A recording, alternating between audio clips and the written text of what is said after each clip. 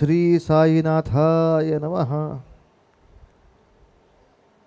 ज्ञानेश्वर महाराज ते रामदास स्वामी हे संत पंचक आपल्याला माहिती आहे.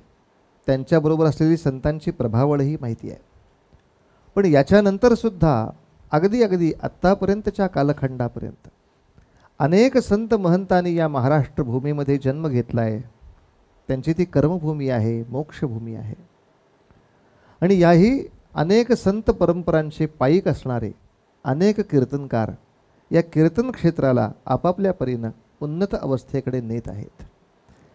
अशीच साईनाथांची परमकृपा आणि साईनाथांची भक्ती ज्या घरामध्ये आहे असे प्रभंजन भगत या ठिकाणी आज कीर्तनासाठी उपस्थित झालेत. स्वागत आहे बुवा. नमस्कार बुवा. सगळ्या कीर्तन विश्वच्या आमच्या यूट्यूब चॅनलच्या प्रेक्षकांच्या वतीनं आणि विश्व मराठी परिषदेच्या सगळ्यांच्या वतीनं आपलं मनापासून स्वागत आहे. साईनाथांची सेवा शिर्डीमध्ये वास्तव्य काही काळ शिर्डीच्या आसपासही वास्तव्य. होय.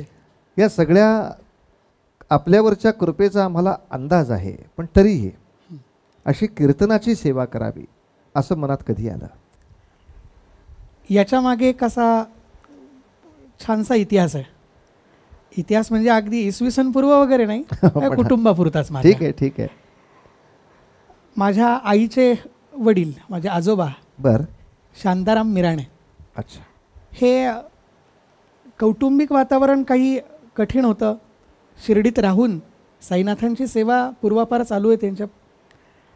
असं असताना पूर्ण कुटुंबाचा सांभाळ करत असताना आतला त्यांचा कलाकार कुठेतरी त्यांना चेतावणी द्यायचा. आणि त्यामुळे नाटकात कामं करायची बर. नकला करायच्या गाणी गायची त्यांचे वडील तबला वाजवत आणि ते तमाशात तबला वाजवत. अरे बापरे. त्यामुळे त्याही कलावंतांचं घरी येणं जाणं असायचं. त्यांच्याशी गप्पा करायच्या. पण दासगणूंचं चरित्र बघितलेलं आहे. हो. दासगणूंच्या अंगा खांद्यावर खेळलेले आहेत. बर. त्यांची कीर्तनं बघितली आहेत. आणि त्यांनी तमाशा सोडला. शृंगार सोडून ते भक्तीकडे लागले. त्यांनी कीर्तन केलं. आपणही कीर्तन करायला पाहिजे अशी त्यांची इच्छा. अच्छा. अच्छा. म्हणून गावामध्ये दासगणू महाराजांचेच एक शिष्य महाराजांनीच शिर्डीमध्ये ठेवले होते. विठ्ठलराव मराठे म्हणून. अच्छा अतिशय सुंदर गळा. गोड आवाज आणि बाबांच्या आरत्या इतकं सुंदर गायचे. तर संस्थानातली व्यवस्था आरत्या हे सगळं ग त्याची गायनसेवा वगैरे व्यवस्था बघण्यासाठी विठ्ठलराव तिथे होते. त्यांच्या मार्गदर्शनाखाली त्यांनी दासगणू महाराजांचं लाखा कोलाटी हे आख्यान बसवलं. बर. आणि बाबांच्या मंदिरात समाधी मंदिरात आत्ता जी गर्दी आहे तशी पूर्वी नसे. नाही नाही. अगदी दासगणू महाराज म्हणतात की आरतीच्या वेळेस घंटा वाजवायलाही माणूस नसायचा. अरे बापरे. त्यामुळे गर्दी नसल्या कारणानं दर एकादशीला कीर्तन निमित्तानं कीर्तनं तिथे बाबांच्या समाधीसमोर होत. वा वा. आज जिथे पाय ठेवायला जागा नाही तिथे कीर्तन सेवा होत असे. तेव्हा त्यांनी दामाजी लाखा लाखा कोलाटीचं चरित्र एक नाही तर दोन दिवसात सांगितलं. वा वा. ते म्हणाले हे फार जिकिरीचं अवघड आहे याला अभ्यास लागतो पूर्वरंग म्हणून संस्कृत यायला हवं आवाज चांगला हवा ठेक्याचं हो, ज्ञान हो, हवं हो. सगळं एक एकखट्टी एका एका जागेवर आपल्याला यायला हवं. हो, उसना अवसन आणून येणारा प्रकार नाही. पण पुढे काही प्र प्रपंचाच्या रगाड्यात ते त्यांना शक्य झालं नाही. पण ती इच्छा त्यांच्या मनात होती की आपलं कुणीतरी पुढे जाऊन कीर्तनकार नक्की करायचं. त्यांची. मुलगी आणि माझी मावशी लीना मिराणे अच्छा. आणि लग्न झाल्यानंतर आता राधिका कालेकर ती कोल्हापुरात असते. तिला त्यांनी कीर्तन कीर्तनकार केलं. शिबिरांमध्ये भाग घेऊन नागपूरच्या डबीर सरांचं मार्गदर्शन मिळालं आणि ती कीर्तनकार झाली. वा. ती कीर्तनाला लागली.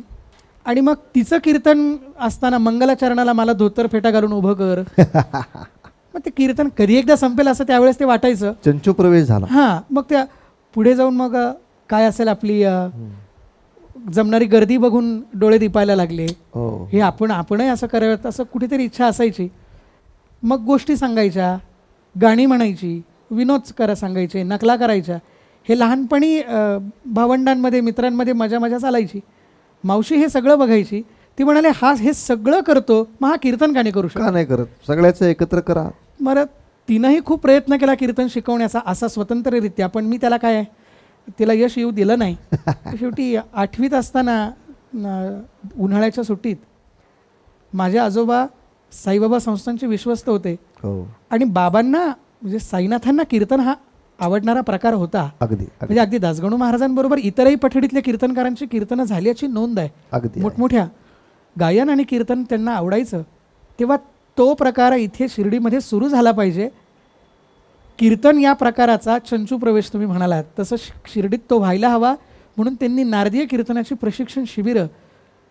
गुरुदत्त धाम गोंदी आणि. साईबाबा संस्थान शिर्डी यांच्या संयुक्त विद्यमानं शिर्डीत घडवून आणली आणि त्यात. आम्ही भाग घेतला आता याला नाही म्हणू शकत नव्हतो तिथे मग कीर्तन मला गुरुदत्तधाम गोंदीचे प्रकाशबुवा मुळे प्रकाश बुवा अ, तसेच औरंगाबादचे मनोहरबुवा दीक्षित तिथे शिकवायला हो. होते हे आठ दा आठ दिवस एक वर्ष आणि त्याच्या पुढच्या वर्षी दहा वर दिवस असं ते शिबिर तिथे झालं याचं वैशिष्ट्य असं होतं की त्यामध्ये आठ दिवस किंवा ते दहाही दिवस हे दोन कीर्तनकार आम्हाला सतत पूर्ण वेळ शिकवायला होते. चोवीस तास तिथेच होते. पण त्यांनी कीर्तनातल्या काही विशेष अंगांचा असं एक वर्गीकरण केलं आणि रोज रात्री एक पाहुणा कीर्तनकार बोलवलेला अस रात्री त्यांचं कीर्तन मग दिवसभर काय करायचं?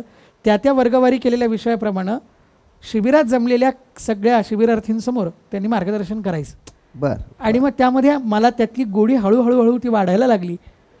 आणि मग मी कीर्तन पहिलं कीर्तन त्या शिबिरार्थींपैकी एक कीर्तन करायला पाहिजे. म्हणून माझं नाव त्यात नोंदवलं गेलं. घाबरलेलो होतो खूप पण मी कीर्तन केलं. अशा प्रकारे मावशी आणि प्रकाश. बुवा आणि मनोहर बुवा या तिघांच्या योगानं मी कीर्तनामध्ये आलो. कीर्तनामध्ये प्रवेश सुरू झाला. बुवा कीर्तनाच्या शिक्षणाव्यतिरिक्त. लौकिक शिक्षण काय झालं? माझं लौकिक शिक्षण मी बी इलेक्ट्रिकल इंजिनिअरिंग पूर्ण केलेलं आहे. वा रे वा आणि त्यानंतर मास्टर ऑफ इंजिनिअरिंग पॉवर सिस्टीममध्ये मी पूर्ण केलेला आहे. शाबाश इंजिनिअरिंगचा कोर्स पूर्ण आहे आणि आत्ता दोन तीन इंजिनिअरिंग कॉलेजला लेक्चरशिप केली आहे. बर. आणि आत्ता प्रवरा सायन्स अकॅडमी म्हणून माझ्याच गावात लोणी गावामध्ये एक अकॅडमी आहे जे अकरावी बारावी नंतर अकरावी नंतर बारावीसाठी किंवा बारावीनंतर जे काही व्यावसायिक अभ्यासक्रमासाठी मुलं जातात त्याच्यासाठी सी ई टी नीट जे डबल ई या परीक्षा ज्या आपण बघतो यामध्ये फिजिक्स शिकवण्याचं काम मी आत्ता तिथे करतो आहे अरे वा अरे वा. श्रीराम जयराम जय जयराम महाराज आमचं कीर्तन कसं श्रीमंत आहे हे तुम्ही तुम्हीच जाणू जणे आता. की विविध महाविद्यालयामध्ये शिकवणारे असे उच्च शिक्षित प्राध्यापक पद्धतीनं प्राध्यापक असलेले हे सगळे आमच्या कीर्तन क्षेत्रामध्ये कीर्तनकार म्हणून आम्हाला उपलब्ध आहेत. आणि आज ह्या कीर्तनाच्या एका छत्राखाली इतक्या सगळ्या पद्धतीचे कीर्तनकार एकत्र येऊन कीर्तन करत आहेत मोठा आनंदाचा विषय आहे. विलक्षण आनंदाचा. बुवा कीर्तन करताना फजिती काही झालेली आठवते का? फजिती झाली आहे. हं, ती सांगण्याआधी मी सांगू इच्छितो की या शिबिरामध्ये आपण अचानक आला होतात. हो.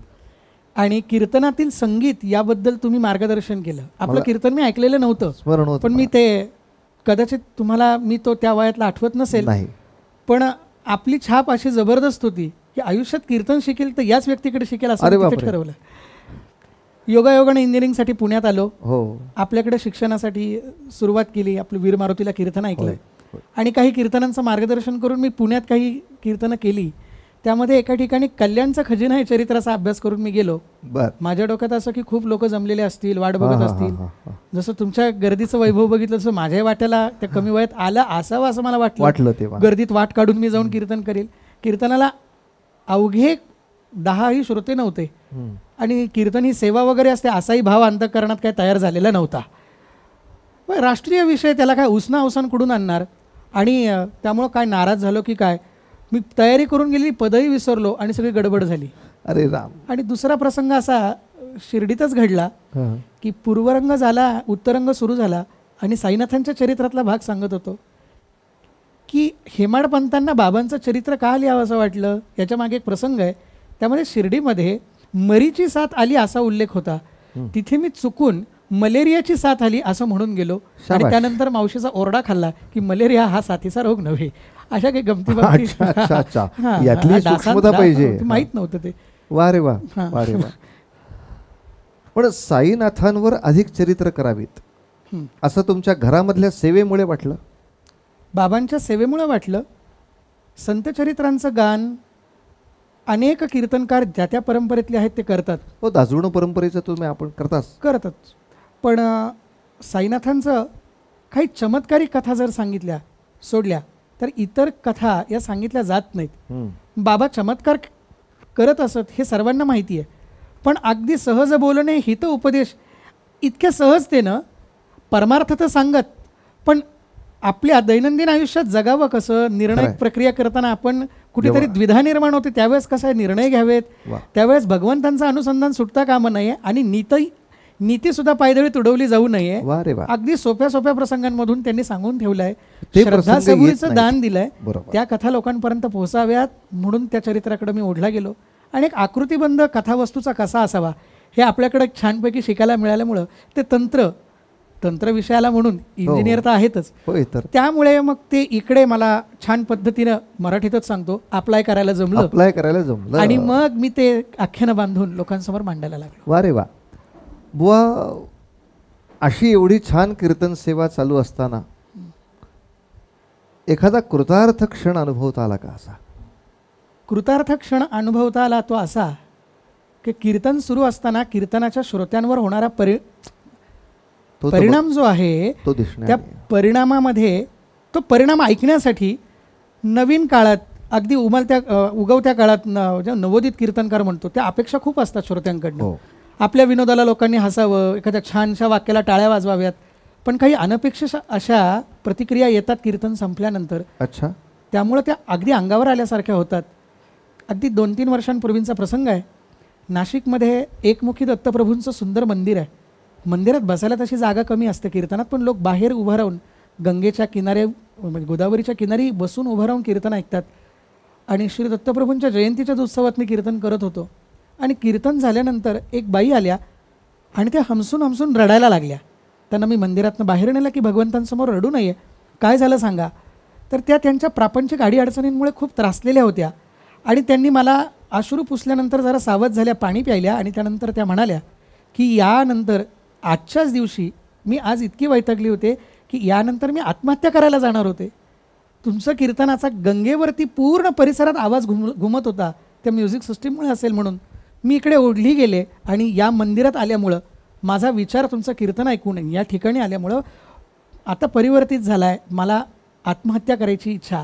तुमच्या कीर्तन ऐकल्यामुळं माझी नाहीशी झाली आहे. वा रे वा ही अनपेक्षित प्रतिक्रिया अगदी अगदी अगदी. पूर्वीच्या काळी अशी एक कथा तुकाराम चित्रपटाच्या दृष्टीने सुद्धा सांगितली जायची. की. तुकाराम चित्रपटासाठी आधी बीजे एकले हां. हे जे पद लिहिलं गेलं ते तुकारामांचं नव्हे. होय. ते शांताराम ह्या कवीनं लिहिलं. होय होय. आणि कालांतराने असा प्रसंग झाला की त्यांच्या जीवनात जेव्हा प्रचंड नैराश्य आलं तेव्हा त्यांनी रेडिओवर त्यांचंच गाणं ऐकलं आणि अरे एवढा चांगला लिहिणारा माणूस आत्महत्या करून मेला असं कसं चांगलं चालेल? म्हणजे स्वतःची काव्य प्रतिभा स्वतःची स्वरप प्रतिभा ही स्वतःवर जशी मोहिनी करते तशी अशी समाजावरही मोहिनी करते हा विलक्षण एका सुंदर कृतार्थतेचा क्षण अजून संशय नाही. कृतार्थतेचे दोन क्षण असे आहेत की आपल्यासारखा मोठा कीर्तनकार शिष्य म्हणून स्वीकारेल की नाही हे एक दडपण होतं. आपलं कीर्तन वीर मारुतीला ऐकलं आणि ती भेट आपलं तुम्हाला स्मरत हो. असेल माझी आपली पहिली भेट. तिथे तुम्ही जो होकार दिला आणि ते मी घरी जाऊन काय अगदी माझ्यासाठी आकाश ठेंगणं झालं की काय म्हणतो आपण असा आनंद झालेला होता. आणि त्या आनंदाच्या भरात मी घरात माझ्या वडिलांसमोर इतकं भरभरून सांगत होतो की बुवा मला शिकायला यायला हो म्हणाले. तो भाग. आणि दुसरं की नारदीय कीर्तन क्षेत्रात ज्यांचं नाव घेतलं जातं ते कीर्तन सूर्य म्हणून दत्तदास बुवा घाग. घाग बुवा. यांच्या घरासमोरचं जे गणपती मंडळ आहे तिथे माझं कीर्तन तिथल्या लोकांनी आयोजित केलं. बुवांना बाहेर येऊन बसणं अशक्य होतं पण बुवांनी घरातूनच ती खिडकी उघडली आणि समोर मी उभा होतो कीर्तनाला. हो हो. हे अनपेक्षित होतं की ते असे उपस्थिती दाखवतील.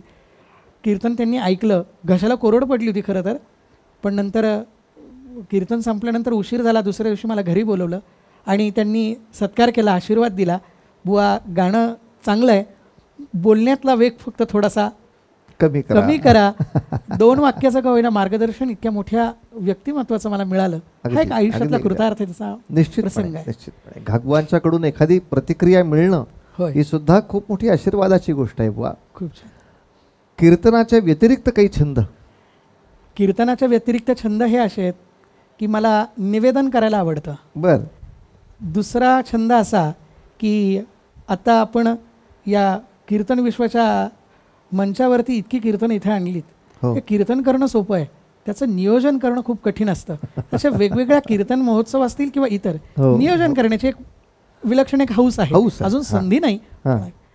वाचन करणं परमार्थातलं जे वाचन आहे त्यामध्ये जे काही प्रश्न विचारले जातात श्रोत्यांकडनं किंवा जे आपल्या आपल्याला पडतात त्याच्या मुळाशी जाणी जाईपर्यंत वाचन करायचं. तसे तसे ग्रंथ मिळवत राहायचे. हा एक छंद आहे. गाण्याचाही छंद आहे. संगीताचं कुठे विशेष शिक्षण घेतलं? संगीताचं शिक्षण घेतलं नाही. आणि इथेही प्रांजळपणे कबूल करतो की मी आफळेबुवांना कॉपी करतो.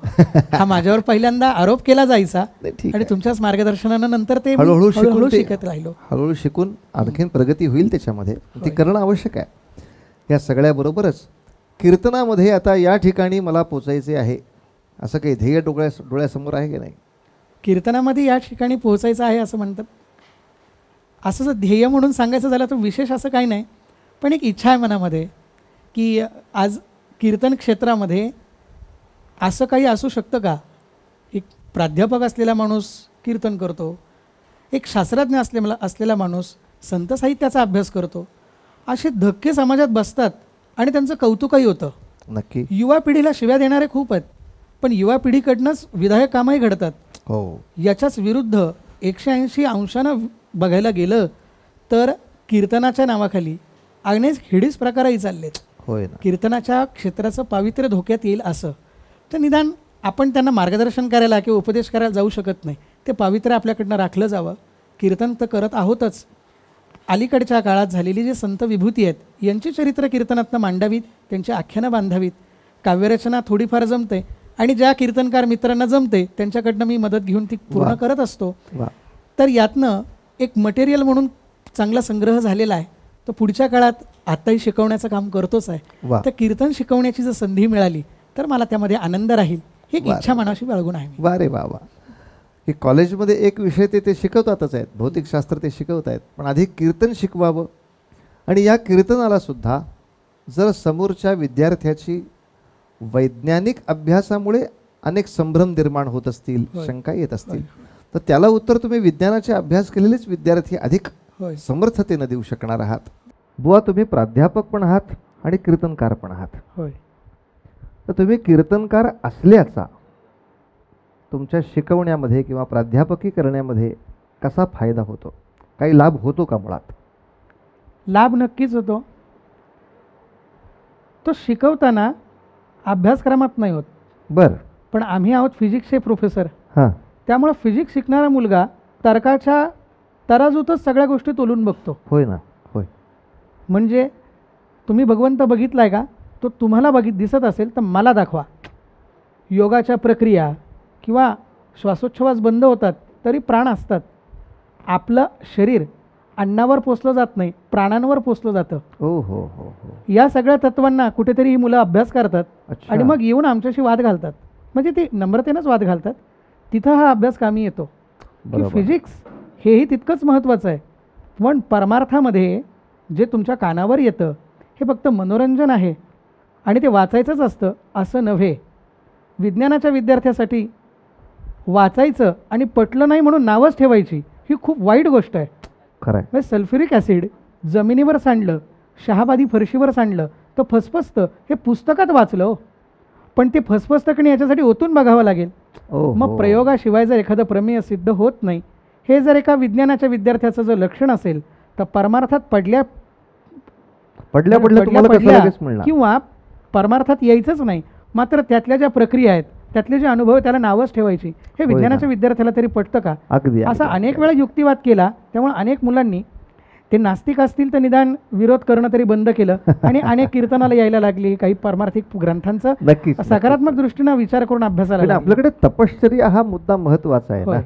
की एखादी गोष्ट एक बारा वर्ष सातत्याने सलग झाली तर त्याच्या फळाचा काहीतरी चिंतनाचा विषय आहे. काही मुलं म्हणजे मी दोन दिवस भजन करून बघितलं पाच दिवस नामस्मरण करून बघितलं मला. काही इंटरेस्ट इंटरेस्ट असं आणि अशा तऱ्हेचे अवैज्ञानिक उत्तरं आपली. मुलं देतात ते एकूणच सगळे आता जे होय ही विद्यार्थी आहेत किंवा कीर्तनातले ही काही आपले सहाध्यायी आहेत हं. या ना अशा अशा तऱ्हेने तुम्ही एक तप दोन तप का होईना पण एक नित्य कणखर अशी काही उपासना करा अशा तऱ्हेचं काही आपण सांगाल का विद्यार्थ्यांसाठी सुद्धा आणि त्यातल्या त्यात कीर्तनातल्या विद्यार्थ्यांसाठी सांगायला माझी मला आवडेल की कीर्तनासाठी आपल्याला गायन थोडंसं नृत्य वक्तृत्व विनोद अभिनय या पाच अंगांचा विचार करावा लागतो नक्की तर याच्यासाठी स्वतंत्र त्या त्या विषयांचा त्या त्या पाच भागांचा रियाज म्हणून अभ्यास म्हणून एक वेळ बाजूला काढावा लागतो त्याच्यात यश येण्यासाठी आपले परिश्रम जितके महत्त्वाचे आहेत तितकी भगवंतांची कृपा सद्गुरूंची कृपा संपादन करण्यासाठी तुम्ही. प्रयत्नपूर्वक म्हणून काही परमार्थात काही केलं आहे का हे. तितकंच महत्त्वाचं आहे खरं. बुवा आपल्याला कदाचित तो अनुभव आला असेल की आपण पाठांतर करतो एवढे राग गळ्यावरती चढलेले असतात गातो. पण कधीतरी असं होतं की आपण येत असून ब्लँक पडतो आणि याच्या बरोबर उलट आपण अभ्यास केलाय डोक्यात तो मुद्दा नसतो पण बरोबर ओघानं सद्गुरुनाथांची कृपा बरोबर त्या मुद्द्यापर्यंत आणून ठेवते. आणि तो मुद्दा समोर आल्यानंतर आतल्यात आपण भगवंतांना नमस्कार करतो की देवा तुमचं किती कौतुक आहे. आज मी विचार न केलेला मुद्दा सुद्धा मला इथे उपस्थित करून सांगता येतो. की एक विशिष्ट उपासना केली.